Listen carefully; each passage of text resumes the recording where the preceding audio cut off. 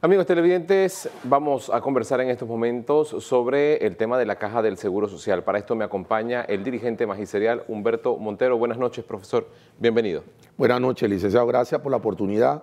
Un tema importante, un tema sensitivo, un tema álgido y que nosotros, el sector magisterial, espera prontamente presentar nuestra propuesta al señor presidente, tema que quedó en la reunión hace eh, tres semanas que tuvimos el sector magisterial para a finales de septiembre entregar una propuesta que sea efectiva y que no afecte al pueblo panameño y más a los docentes. Profesor, ustedes se reunieron con el presidente, como muy bien usted lo ha dicho, ustedes tienen que entregar una propuesta, pero llama la atención que ya los gremios magisteriales han dicho rechazamos que se vaya a privatizar la caja del Seguro Social cuando no han presentado eh, pues las propuestas, todavía no se ha hablado del tema, pero ya hay acciones por parte de algunos gremios docentes. Sí, mire, nosotros en gobiernos anteriores hemos manifestado claramente que no queremos la privatización de la Caja de Seguro Social, así como la del Irán. Nosotros nos hemos manifestado de que no se puede privatizar la Caja de Seguro Social, pero si nosotros hacemos un estudio, hay rubros que en la Caja de Seguro Social se han privatizado. De manera integral no, pero sí lo han hecho. Nosotros lo que queremos es que no se privatice la Caja de Seguro Social porque es un esfuerzo de todos los panameños. En la reunión que tuvimos con el señor presidente de la República, más de 29 organizaciones, los voceros fueron claros, alzamos nuestra voz con mucho respeto al señor presidente José Raúl Mulino, que estuvo la ministra de Educación y el ministro de la Presidencia. Ellos nos explicaron, desarrollaron el tema y nuestra posición clara fue que nos mantenemos en el sistema solidario. Este sistema es importante porque no afecta tanto al pueblo panameño. Entonces, lo que sí nosotros estamos preocupados es ante la designación que hizo el señor presidente, es un derecho del señor presidente escoger a su alto funcionario, a su ministro, pero el señor eh, licenciado Dinomón ya inclusive creo que en la mesa del diálogo que se abrió en el gobierno pasado del tema de la Caja de Seguro Social, donde estaban los partidos políticos, sectores sindicales, empresa privada, ahí claramente estaban presentadas las medidas paramétricas. ¿Qué son medidas paramétricas? Las medidas paramétricas y que el sector magisterial no lo va a aceptar es aumento de la edad de jubilación, que se ha oído de 67 a 65, hombres y mujeres, perdón. está también este, el, el aumento a la cuota obrero patronal, perder los beneficios. Y una más, los docentes, cuando nos jubilamos, nos vamos con el 60%. Hay otras instituciones, nosotros perdimos las jubilaciones especiales. Nosotros no hubiéramos ido bien con el 90, no, el 100%.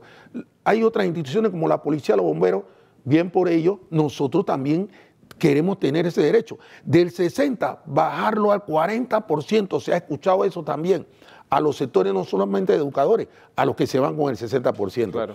Estas medidas paramétricas para nosotros no son aceptables y ese es lo que el señor director designado ya en, ejercicio, porque ayer lo escuchamos, que prácticamente ante la, el, cuestionario de, de la diputada y los diputados, prácticamente lo vimos como que chifió, no dio la respuesta, pero sí decía que sí había hecho medidas paramétricas porque él conoce eh, el tema actuarial. Claro, profesor, ustedes le plantearon esto en esa reunión al presidente, de que ustedes no estarían de acuerdo con estas medidas paramétricas, que usted ha dicho que rotundamente un no y que tomarían acciones, lo que me lleva a pensar de que si se impone este tema de las medidas paramétricas, vamos a volver a vivir un déjà vu como el 2022, 2023 y podría repetirse en el 2024. Mire, eh, eh, los voceros de los sectores magisteriales, mi respeto a los que este, le explicaron la posición de los sectores magisteriales al señor presidente, la señora ministra y el señor ministro de la presidencia,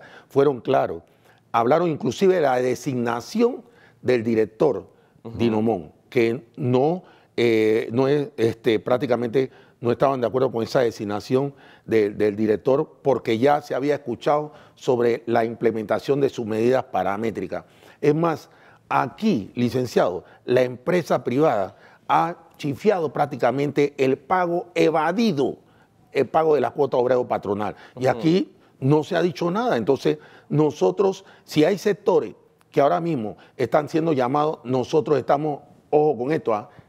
Estamos en un periodo de consulta somos respetuosos. El señor presidente nos reunimos con él y dijimos que vamos a presentar nuestras propuestas a finales de septiembre.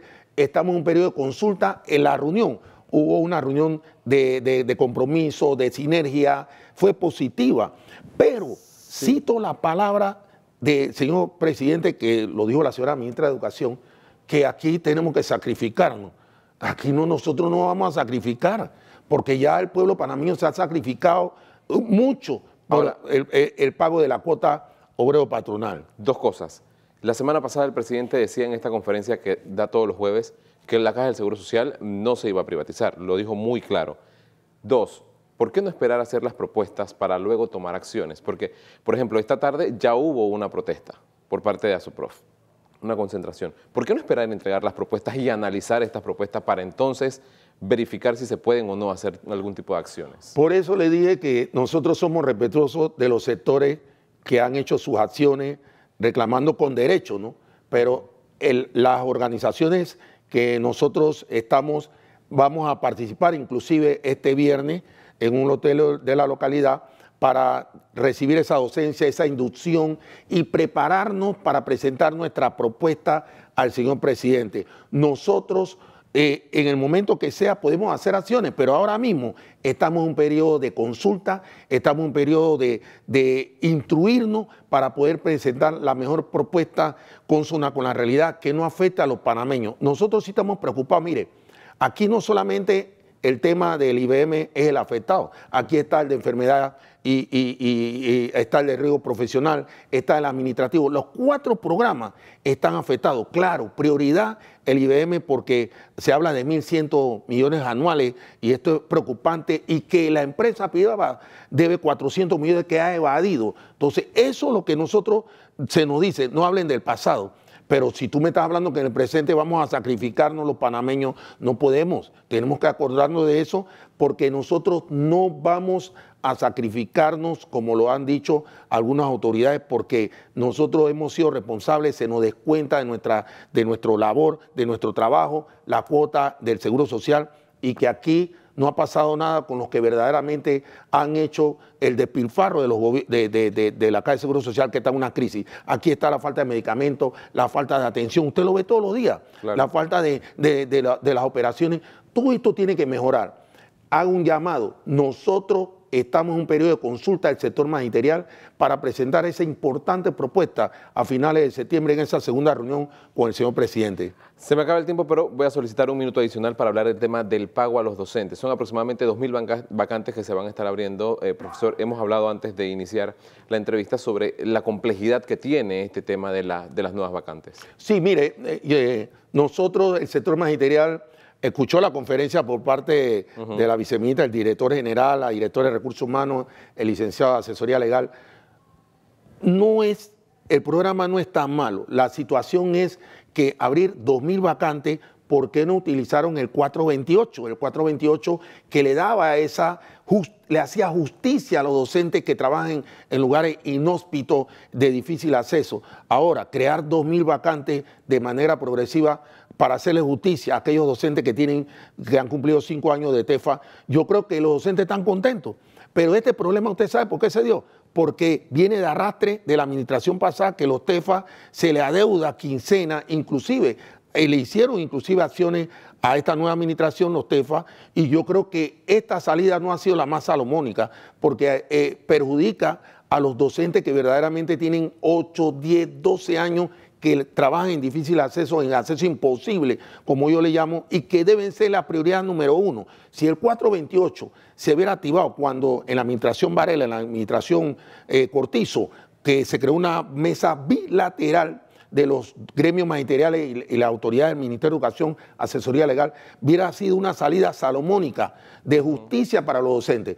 Nosotros no estamos diciendo que el programa no sea bueno, sino que 2.000 vacantes. Entonces, cuando se dé el concurso general, ¿cómo se va a hacer si ya prácticamente se ha agotado la cantidad de, de, estas vacantes que salgan en lugares accesibles de manera permanente? Eso para nosotros nos llama mucho la atención y ojalá que el Ministerio de Educación pueda evaluar este tema.